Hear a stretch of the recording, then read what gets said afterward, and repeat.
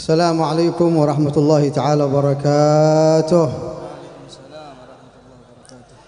بسم الله الرحمن الرحيم. الحمد لله رب العالمين والصلاة والسلام الأتمان الأكملان على سيدنا مولانا محمد وعلى آله الطيبين الطاهرين وصحابته والتابعين وتابعيهم بإحسان إلى يوم الدين. رب اشرح لي صدري ويسر لي أمري واحلل عقدة من لساني يفقه قولي. الحمد لله حضرنا وإياكم في هذه الليلة المباركة في هذا الشهر المبارك. نسأل الله سبحانه وتعالى أن يقضي جميع حاجاتكم كبيرها وصغيرها وأن يشفي جميع أمراضكم وأن يبلغكم الآمال وفوق الآمال. آمين اللهم آمين. Ya Alhamdulillah. Beliau memulai dengan rasa syukur kepada Allah Subhanahu wa taala serta salawat.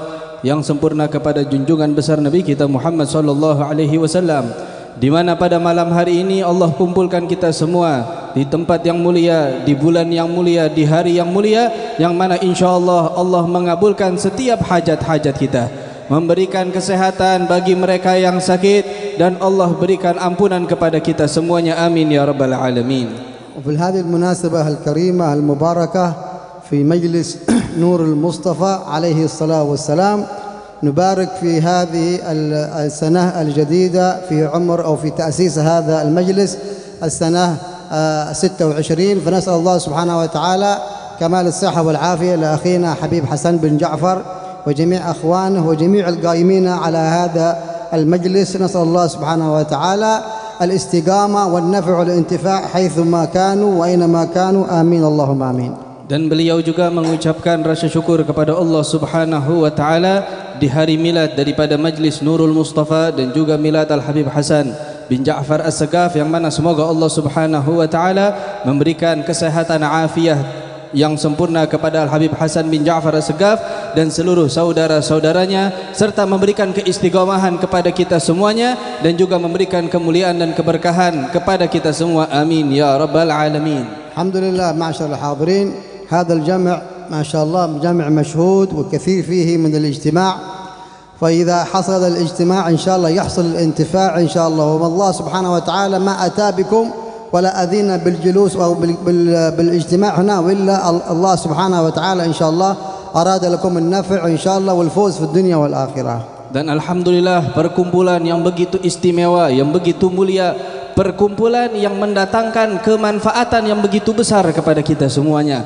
Perkumpulan yang begitu mulia di sisi Allah Subhanahu wa taala dan tidaklah Allah mengajak dan menggiring kita semua ke perkumpulan yang mulia ini kecuali ada harapan dari Allah kemanfaatan untuk kita semua. Serta kita mendapatkan daripada keberkahan dan kemuliaan dari Allah Subhanahu wa taala dengan perkumpulan yang mulia ini والكل واحد يحسن الظن في الحق سبحانه وتعالى كما قال النبي صلى الله عليه وسلم خصلتان ليس فوق فوق فوقهما شيء من الخير.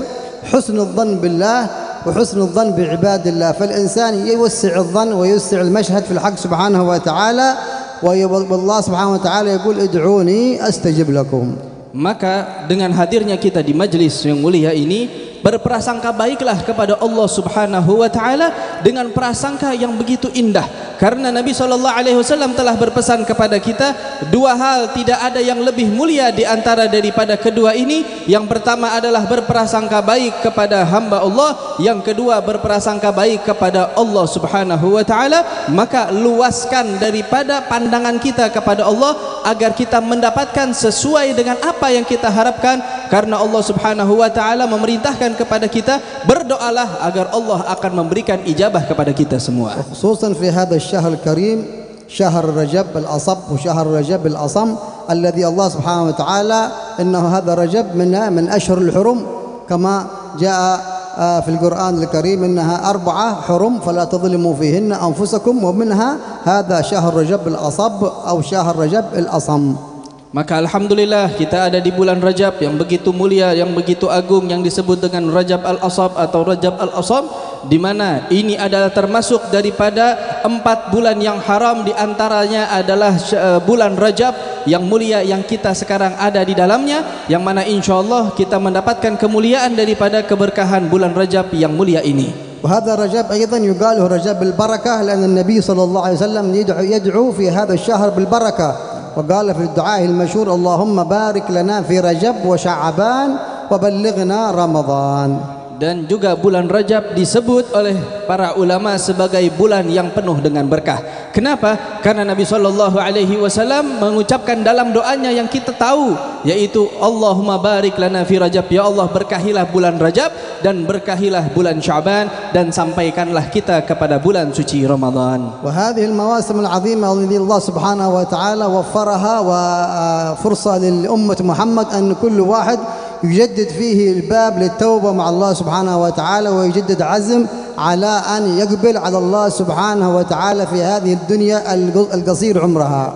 Maka di waktu di zaman yang begitu mulia di waktu yang begitu indah ini daripada bulan Rajab adalah waktu di mana kita harus lebih mendekatkan diri kita kepada Allah dan kembali kepada Allah Subhanahu wa taala perbaharui daripada taubat kita perbaharui daripada kedekatan kita kepada Allah Subhanahu wa taala dengan keberkahan daripada bulan Rajab ini agar Allah memberikan ampunan kepada kita semuanya وبركة هذا المجلس نور المصطفى والحبيب حسن بن جعفر المؤسس هذا المجلس علينا وإياكم إن شاء الله أن نجدد توبة وأن نعزم على أن نقلع كل ما كان منا من أشياء سيئة ونقبض على الله سبحانه وتعالى في الواجبات الذي كنا تركناها من صلاة أو صدقة أو جميع الواجبات الذي الله سبحانه وتعالى كلفنا فيها.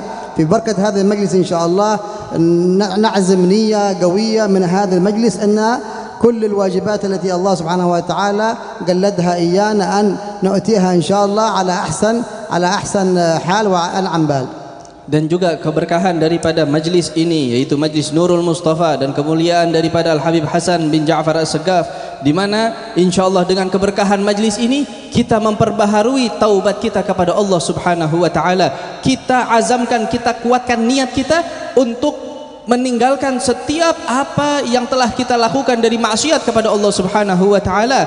Dan juga kita memperbaiki dari kewajiban-kewajiban yang telah Allah wajibkan kepada kita baik daripada kewajiban salat ataupun zakat ataupun yang lainnya setiap hal yang diwajibkan oleh Allah yang kita masih tinggalkan maka mulai malam ini dengan keberkahan majlis ini kita perbaiki itu semua agar kita tidak lagi meninggalkan kewajiban-kewajiban kita kepada Allah Subhanahu wa taala. Nasallahu subhanahu wa taala al qabul al iqbal wa hadha al waqt wala inma خير الكلام ما قل ودل. ونعطي الفرصة للحبايب. نسأل الله سبحانه وتعالى أن تكون هذه إن شاء الله النصيحة حجة لنا ولا علينا ويجعلنا وإياكم كما جمعنا في هذا المكان.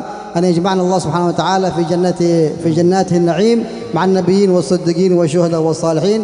وأن يعطي حبيبنا حسن والحاضرين والحبايب كل حاجاتهم طول العمر في عافية وسلامة. حسن الخاتم عند الموت. fi khair lutf wa afiyah wa sallallahu ala sayyidina Muhammad wa alihi wasallam. Alhamdulillahi rabbil alamin. Dan beliau menutup daripada perbincangan daripada ceramah beliau di mana insyaallah sedikitnya daripada ucapan ini insyaallah bisa memberikan manfaat kepada kita semuanya dan juga memberikan gabulnya hajat kepada seluruh hadirin terlebih khusus kepada Habib Hasan bin Ja'far dan seluruh para habaib. Allah muliakan dan Allah kabulkan segala hajat-hajatnya dan insyaallah Allah muliakan kita semuanya. Amin ya rabbal alamin. Wal afu minkum. Assalamualaikum warahmatullahi wabarakatuh